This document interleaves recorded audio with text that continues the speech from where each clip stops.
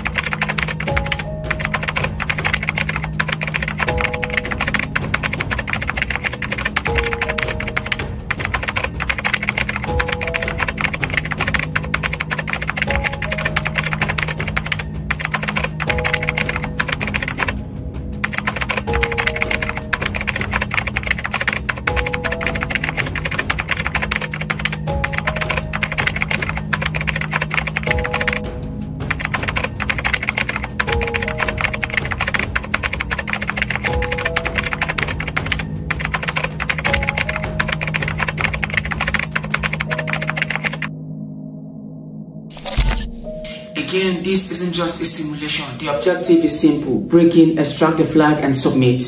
We don't know who left it behind. We don't know if they survived. We only know this. Someone tried to conceal the truth inside the noise. You have been cleared to enter the node because you are alpha.